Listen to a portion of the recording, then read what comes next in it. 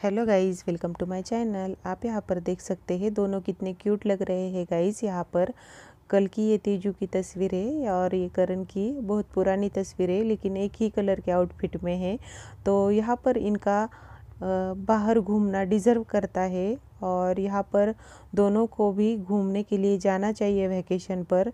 पहले big boss के पहले दोनों भी बहुत घूमा करते थे, लेकिन गाइस यहाँ पर बिग बॉस के बाद दोनों को अच्छा है काम मिला, लेकिन इनको घूमना चाहिए क्योंकि दोनों जब से बिग बॉस के हाउस के बाहर आए हैं, तब से दोनों भी काम में व्यस्त थे। करण भी लॉकअप में व्यस्त थे तेजू नागिन सिक्स में और करण को आए दिन कुछ ना कुछ प्रोजेक्ट भी मिलते रहते हैं।